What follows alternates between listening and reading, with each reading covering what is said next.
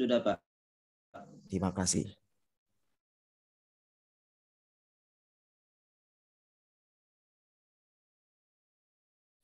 Ya, selamat pagi adik-adik mahasiswa semua dan para pimpinan STT Kataros yang dikasihi Tuhan. Halo. Pagi ini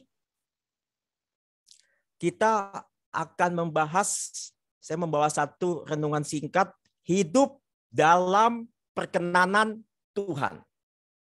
Hidup dalam perkenanan Tuhan. Satu tema yang menarik bahwa di dalam kekristenan kalau kita sudah diselamatkan oleh Tuhan karena kasih dan anugerahnya, maka kita ingin selalu disukai oleh Tuhan. Ingin selalu menyenangkan hati Tuhan. Supaya apa? Supaya hidup kita ini selalu ada di dalam hatinya Tuhan. Nah, bagaimana kita bisa mau menyenangkan Tuhan atau Tuhan berkenan kepada kita? Kita tidak bisa berhenti pada saat kita mengaku dosa, terima Tuhan Yesus, lalu kita dibaptis, bergabung dalam satu gereja lokal, stop sampai di situ. Tidak. Tetapi kita mengalami yang namanya the spiritual of journey. Ada pengalaman spiritual berjalan bersama dengan Tuhan pada waktu kita sudah diselamatkan sampai finish, selesai. Nah, saya mau mengangkat satu ayat saja. Di dalam kisah Rasul 13 ayat 22 yang dikatakan oleh Lukas ya. Ini ditulis oleh Lukas. Setelah Saul disingkirkan, Allah mengangkat Daud menjadi raja mereka. Tentang Daud, Allah telah menyatakan, aku telah mendapat Daud bin Isai, seorang yang berkenan di hatiku dan yang melakukan segala kehendakku. Satu ayat ini. Kalau kita perhatikan dengan baik-baik. Allah tidak main-main dengan orang-orang yang sudah dipilih diselamatkan. Bahkan dikatakan di sana setelah Saul disingkirkan. Kalau kita lihat kenapa bisa Saul disingkirkan Tuhan? Kalau kita lihat di dalam 1 Samuel 13 ya, saya tidak kupas ayat itu, eh, pasal itu. Ketidaktaatan Saul waktu orang Filistin datang menyerang. Ketidaktaatan Saul membuat Saul disingkirkan oleh Allah. Allah tidak kompromi dengan yang namanya ketidaktaatan itu.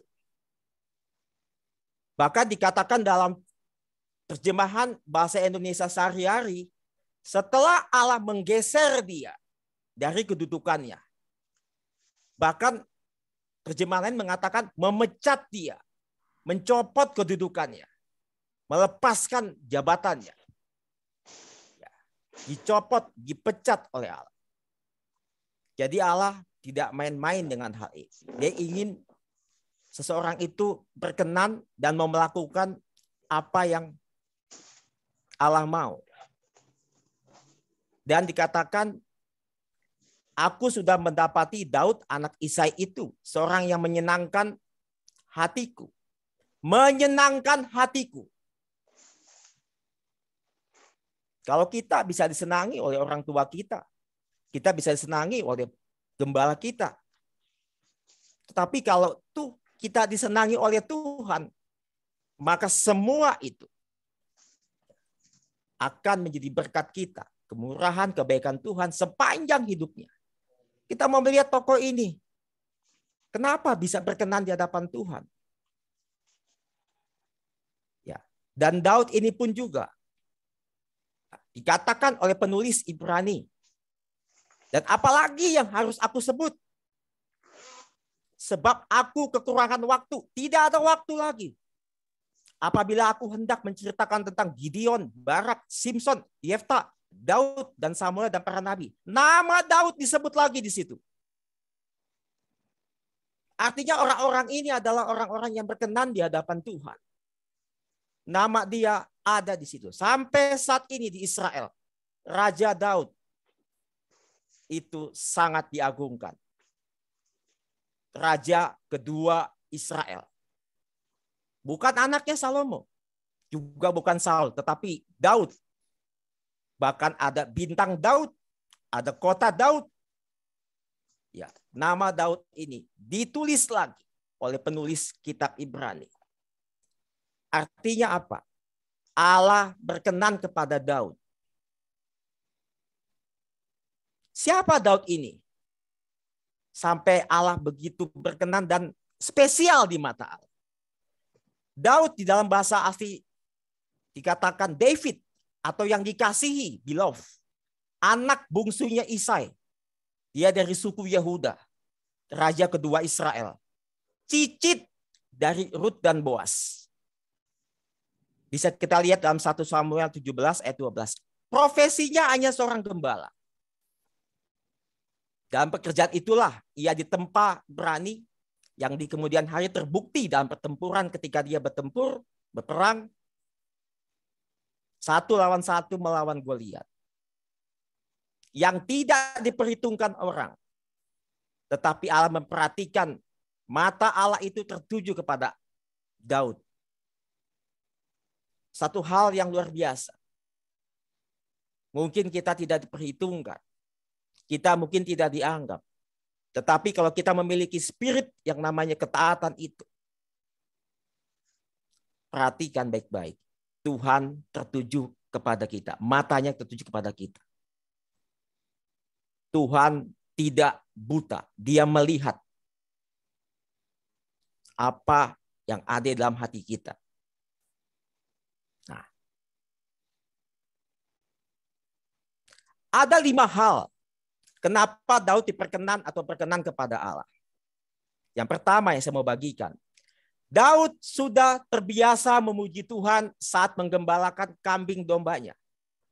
Di dalam 1 Samuel 16 ayat 17 sampai 18 dikatakan, berkatalah Saul kepada hamba-hambanya itu, carilah bagiku seorang yang dapat main kecapi dengan baik dan bawalah dia kepadaku. 18. Lalu jawab salah seorang hamba itu katanya, sesungguhnya aku telah melihat salah seorang anak laki-laki, Isai, orang Bethlehem itu, yang pandai main kecapi.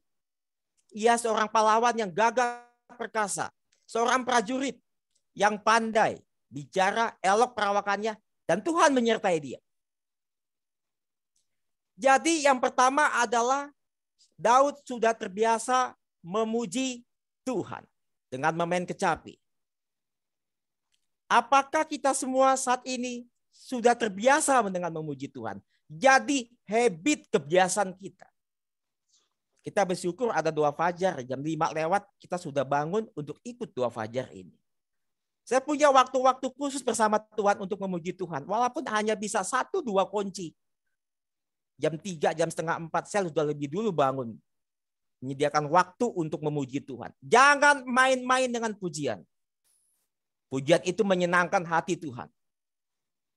Dan di atas puji-pujian itu Allah bersemayam. Ambil waktu kita untuk memuji Tuhan. Jangan kita kuat nonton TV, sinetron berjam-jam tetapi hanya untuk memuji Tuhan. 10 menit sudah nguap. Mengantuk matanya 5 watt. Tapi untuk sinetron Mata kita 20 watt, terang benderang. Sangat terang benderang. Ya. Ambil waktu untuk memuji Tuhan. Kalau orang Kristen sampai titik ini nggak biasa memuji Tuhan, saya nggak bilang salah. Tetapi kekristenannya dipertanyakan itu. Dipertanyakan. Makanya mari yang belum biasa memuji Tuhan, pujilah Tuhan. Ya. Saya pun kalau di kamar mandi juga nyanyi, sebab kau besar, perbuatanmu ajaib. Saya tahu ketika saya nyanyi lagu itu, uang anak sekolah saya belum dibayar Tuhan. Saya nyanyi lagi, sebab kau besar, perbuatanmu ajaib. Token saya bunyi, tut tut tut, habis mesti diisi pulsanya. Sebab kau besar, dompet kosong. Saya harus matikan itu kedagingan. Jangan daging nyanyi. Biar mulut saya yang nyanyi.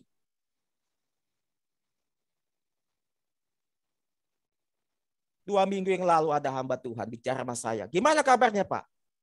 Sangat-sangat tidak baik. Wah, sangat-sangat tidak baik. Jadilah menurut imanmu itu. Sangat-sangat tidak baik. Baik tidak baik keadaannya. Tuhan Yesus tetap baik. Puji Tuhan. Yang kedua, Daud memiliki hati yang tertuju kepada Tuhan. Mazmur 27 ayat 4. Satu hal telah kuminta kepada Tuhan, itulah yang kuingini.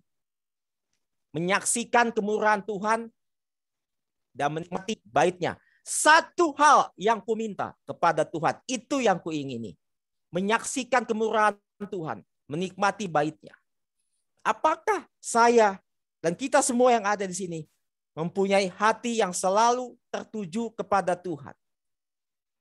Artinya apa? Artinya Tuhan mendapat tempat prioritas yang terutama di dalam hidup kita. Lakukanlah semuanya itu untuk Tuhan, buat Tuhan oleh Tuhan. Sebagai mahasiswa, sebagai dosen, sebagai gembala, sebagai penginjil, ya tetap tertuju kepada Tuhan. Kalau kita tertuju kepada Tuhan, maka kita yakinlah kita nggak akan salah jalan apalagi sesat. Karena tertuju kepada sang kebenaran itu. Dan kalau mata kita sudah tertuju kepada Tuhan, kita akan menyaksikan kemurahan Tuhan dan menikmati baitnya. Menyaksikan kemurahan Tuhan, mengalami kebaikan Tuhan, mengalami penyertaan Tuhan. Sampai titik ini, nggak pernah saya melihat Allah curang dalam hidup saya. Allah selalu menyatakan janjinya itu pasti akan digenapi. Memang, memang saya katakan itu tidak instan, tetapi proses. Allah menyukai sebuah proses. Berapa lama kita jadi anak-anak Tuhan? Jadi orang Kristen? 20 tahun, 30 tahun, atau mungkin 40 tahun, atau lebih dari itu. Apakah kita sudah tertuju kepada Tuhan? Mau menyaksikan kemurahan Tuhan? Fokus kepada Tuhan. Fokus kepada Tuhan. Dan kita akan melihat kemurahan Tuhan dalam hidup kita. Yang ketiga, Daud memiliki kerendahan hati. Watak dia ini sudah dilihat Allah ketika ia jadi gembala. Ya, berfirmanlah Tuhan dalam 1 Samuel 16 ayat 1. Berfirmanlah Tuhan kepada Samuel, lagi engkau berduka cita karena Saul. Kecewa Samuel terhadap Saul. Bukankah ia telah kutolak sebagai raja atas Israel? Tuhan yang berfirman ini, dia sudah kutolak karena ketidaktaatan tadi. Tidak ada satupun dari kita di sini yang mau ditolak Tuhan. Kita mau menyenangkan, bukan ditolak. Isilah tabung tandukmu itu dengan minyak dan pergilah. Aku mengutus engkau kepada Isai, orang Bethlehem itu. Sebab di antara anak-anaknya telah kupilih seorang raja bagiku. Ketika Saul disingkirkan, tidak dibiarkannya umat Tuhan itu berlama-lama tanpa pemimpin. Dia segera pilih pengganti Saul, Daud dan Samuel diminta untuk segera mengangkat Daud, mengurapi Daud untuk menjadi raja. Apa itu rendah hati? Dalam kamus besar bahasa Indonesia, tidak sombong atau tidak angkuh. Allah sudah melihat Daud sejak masih menjadi gembala. Di dalam 1 Samuel 16 ayat 7 sampai 12. Tetapi berfirmanlah Tuhan kepada Samuel, Janganlah pandang parasnya atau perawakan yang tinggi. Aku telah menolaknya. Bukan yang dilihat manusia yang dilihat Allah. Manusia melihat apa yang depan mata, tetapi Tuhan melihat hati. Sama melihat anak ini kemerah-merahan ya, polos. Bukankah saudara Daud semuanya masuk di dalam tentara? Ya, ikut bertempur melawan orang-orang Filistin. Samuel seolah-olah terkecoh. Apakah ini Tuhan yang bakal dipilih itu? Yang akan memimpin bangsa yang besar itu, Israel. Tetapi Tuhan mengatakan bukan yang dilihat manusia yang dilihat Allah. Orang lain bisa melihat fisik, penampilan luar, casing. Tetapi Tuhan melihat hati kita yang terdalam. Hati itu nggak bisa dibohongi. Tuhan tahu isi hati kita. Apakah kita mencintai Yesus? Apakah kita mengasihi dia? Ya. Jadi dia punya sifat rendah hati. Bahkan kalau kita perhatikan bagaimana gagahnya Daud ini yang cuma menggembala itu taruhannya nyawa di situ. Dia mesti jaga itu peliharaannya dari mangsa singa atau beruang. Sebetulnya Tuhan sudah melatih Daud di situ. Makanya tidak kaget kalau itu menjadi modal Daud ketika dia menghadapi Goliat. Dia tumbangkan Goliat itu. Ya, yang keempat, Daud selalu bertanya kepada Tuhan sebelum bertindak. Ini penting buat kita. Di dalam 2 Samuel 2 ayat 1 dan 2 dikatakan demikian firman Tuhan. Kemudian bertanyalah Daud kepada Tuhan. Katanya, apakah aku harus pergi ke salah satu kota di Yehuda? Firman Tuhan kepadanya, pergilah. Lalu kata Daud, ke mana aku pergi? Firmannya ke Hebron. Lalu pergilah Daud ke sana dengan kedua istrinya Ahinoam dan Abigail. Jadi sebelum bertindak, Daud selalu bertanya kepada Tuhan, berdoa juk Tuhan, bukan minta petunjuk orang pintar atau paranormal yang tidak normal itu tapi nasihat ajaib itu. Kalau kita tanya kepada Tuhan, maka ke itu akan berujung pada kebaikan. Selalu bertanya. Jangan lupakan Tuhan di setiap rencana kita. Ajak dia untuk terlibat di dalam apa pun, sekecil apa pun rencana kita. Libatkan dia dalam pelayanan, penggembalaan, penginjilan, libatkan dia. Karena hanya dia ya yang bisa memberikan petunjuk yang benar. Dan Tuhan menjawab, pergi. Daud bertanya, dan Tuhan pasti jawab, pergilah.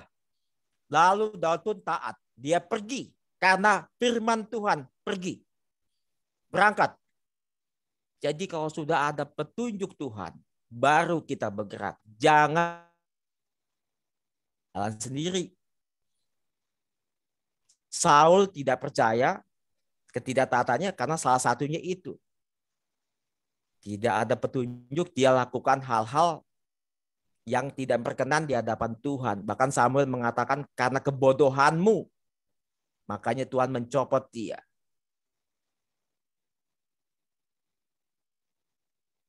Yang kelima, Daud memiliki hati yang mudah bertobat. Menarik ya. Alkitab tidak pernah menutup-nutupi satu hal yang tidak pantas. Alkitab berbicara jujur apa adanya. Orang yang berkenan ini pun Daud juga jatuh ke dalam dosa. Jadi Alkitab tidak pernah menutup-nutupi hal ini. Dia jatuh ke dalam dosa. Dia mengambil Batseba. Bahkan suaminya ditaruh di medan pertempuran yang paling depan. Dia kena tombak, kena lembing sekalian. Itu kalau di dunia pengadilan atau hukum berapa pasal itu kena. Ya, merencanakan mengambil isi orang jatuh karena hal sepele. Ngintip orang mandi.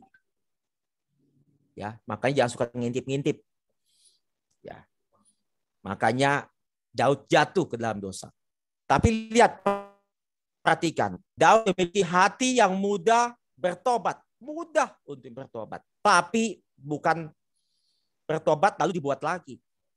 Jangan jadi Kristen tomat hari ini. Mazmur 32 ayat 5. Dosaku kuberitahukan kepadamu. dan kesalahanku tidaklah aku sembunyikan. Aku berkata, aku akan mengaku kepada Tuhan pelanggaran-pelanggaranku. Dan engkau mengampuni kesalahan karena dosaku. Dosaku ku beritahukan kepadamu ya Allah. Kesalahanku tidak kusembunyikan. Bukankah selama ini banyak dari kita yang ada dosa disembunyikan. Tuhan lihat. Tuhan tahu hal itu. Tetapi Daud ya pernah mengatakan hanya kepada engkau, kepada engkau sajalah aku berdosa. Ya iyalah. Tuhan lihat hal itu. Kalau kita lihat dalam Mazmur 51, doa pengakuan dosa Daud ketika dia mengambil Batseba itu. Dia ada. Dia mengakui dosa itu. Jadi kita bisa jatuh ke dalam dosa. Tetapi kalau kita jatuh ke dalam dosa, Tuhan mau tunggu, kita mau bangkit. Kita mau bertobat. Tadi Pastor John sudah mengatakan 1 Yohanes 1 9 ya. Sebab jika kita mengaku dosa, maka ia adalah setia dan adil sehingga ia akan, mengampuni segala dosa kita dan menyucikan kita dari segala kejahatan. Kalau kita mengaku dosa kita. Dosa itu jangan dianggap main-main. Ujungnya maut. Kalau maut di Tangerang. Pak John tahu itu maut di mana. Ujungnya maut. Ya. Dan dosa harus kita akui setiap waktu. Nggak bisa dosa dirapel selama seminggu, apalagi setahun. Kasihan malaikat ngegosok dosa kita itu. Capek deh, kata malaikat. Dosa lu banyak setahun sekalian. Tuhan ampun dosa kami tahun ini Tuhan. Siapa yang mau cuci pakaian dosa kita itu? Tiap hari lah mengaku dosa. Supaya malaikat itu ringan pekerjaannya. Makanya di surga mungkin membutuhkan orang, membutuhkan malaikat, lowongan buat malaikat. Kerjanya apa? Mencuci dosa manusia. Gak ada seperti itu. Ya, makanya akuilah dosa kita. Kita masih bisa jatuh ke dalam dosa. Dan yang terakhir, masih dalam pasal yang sama. Ya, Kisah Rasul 13 ayat 36. A. Daud melakukan kehendak Allah pada zamannya. Lalu ia mangkat dan dibaringkan di samping nenek moyangnya. Melakukan kehendak Allah pada zamannya. Artinya apa? Selama ia hidup, ia melakukan kehendak Allah. Wow, sangat luar biasa. Kehidupan Daud banyak menginspirasi kita semua. Bagaimana kehidupan seorang raja sangat kompleks. Tetapi kita lihat ternyata Daud yang berkenan ini pun ya punya kesalahan. Tetapi tetap dikatakan Daud melakukan kehendak Allah dan Allah berkenan kepada dia. Sebagai kesimpulan, Bagaimana kita untuk itu bisa berkenan di hadapan Tuhan? Yang pertama, kita lihat contoh Daud. Itu juga yang bisa kita lakukan. Biasalah, terbiasalah memuji Tuhan. Jangan terbiasa memuji pacar kita atau suami istri kita. Itu nomor dua lah. Ya, yang pertama adalah Tuhan dahulu. Puji dia, puji Tuhan.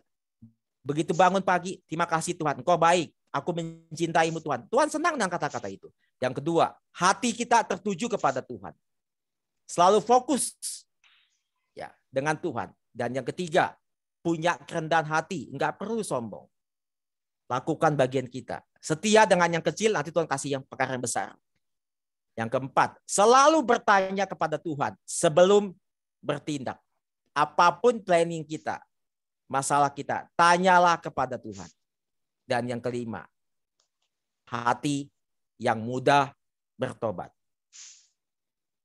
Tuhan, kiranya firman Tuhan ini memberkati kita semua. Kita satu dalam doa.